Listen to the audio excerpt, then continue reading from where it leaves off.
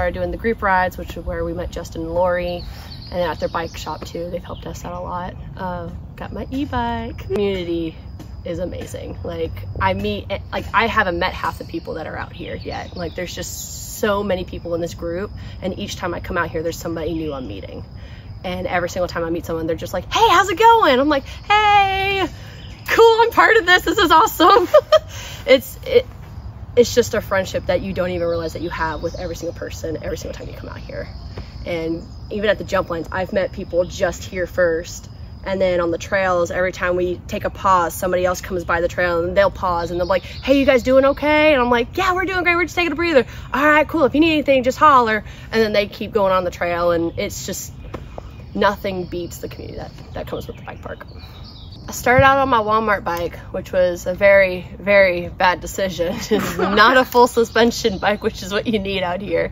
Not not very long, and I use Thursdays is here at Faulkner, and it's just a group of people, and they, you just get in a line, you just follow each other, and it's awesome. A bike going through the trails rather than walking, you got you get the rush of how fast you're going. You get the rush of going over jumps rather than stepping over them or going downhill and hit a turn. And it's cooler too. Oh it's, oh my god, it's just so much more fun. It's it's, it's temperature. Nothing beats the thrill of it.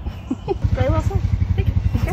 and East Texas Trail Team, and they're just a group of guys that work with the city, and they're like really tight knit.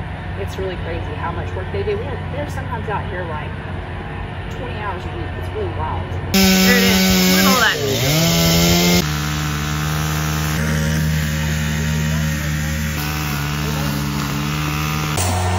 Timber Race is Labor Day weekend. September 1st, right? And guess what? We have an e-bike series, and he's got a well, she has a rail, but really he can like rip it up with us.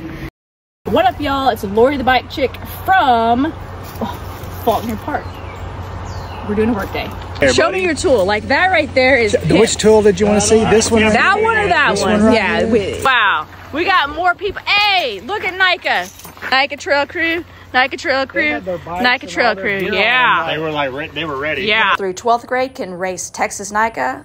Check it out on East Texas NICA Facebook page. Yeah. Timbo over there. He's getting it. Want me to hold the blower or like look more aggressive, like more trill? or what? like we need to hold like this, guys. Perfect. And then like. Probably only need to get like shoulders up. She's got pink little. What? Does it have a fan on it? Man, that would be pimping. Did you see that? oh Ah, We reached the point where Oh wait, we reached the point George, where we got George, George of the jungle. Hold still. Oh. No more hopping. No more, no more hopping. Sorry. Devastation, big storm. Dude, so many people showed up today. They want to ride their bike. the thing's closed. Like, so the most used trail in our area. Hey, Blake.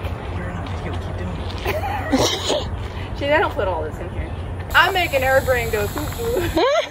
20 years ago, we only had one trail, and it was Tyler State Park, and it probably got 50 miles of trail within East Texas that you can get in a car and drive 20 minutes here. She's like When do y'all want to rake? Came back. the worm. Bye, buddy. Yeah. What y'all gonna do with that handsaw? She's like, she likes the way Jordan walks through the puddles. Here's how Jordan walks through the puddles. I'm gonna walk through this one. Here, here- here's a Jordan walk. She's like, I need some boots like yours. I get, whoa.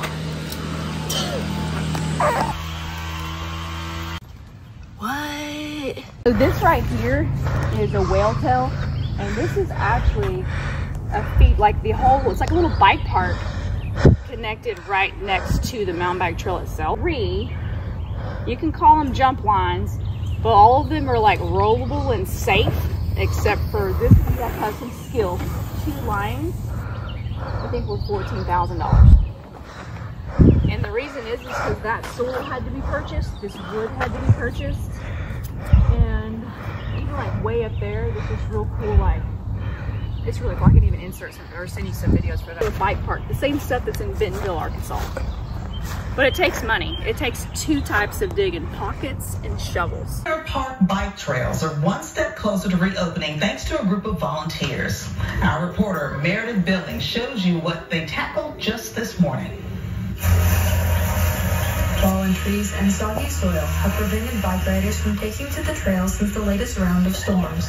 But over 30 volunteers, like longtime rider Lori Simpson, said a few days was long enough. They want to ride their bike. The thing's closed. Like, so the, the, they will close the trail if it's not safe to ride or if it's wet. People scattered through over 15 miles of trail, ducking puddles and clearing debris. We knew there was some some type of cleanup that was going to happen. We knew we wanted to volunteer be able to come out and help out for the amount of work that the people, like the crew, comes out and does building everything. We wanted to be able to pretty much offer our like thanks in a way for in form of volunteering. The turnout surprised Simpson, but she said some trails will need even more repair. There's going to be a lot of rerouting because literally the water has rutted the whole trail out, or most of the trail, not all of it. I mean, it's there. They're trying to reroute it where we can ride it safely. She said this trail's operation is essential.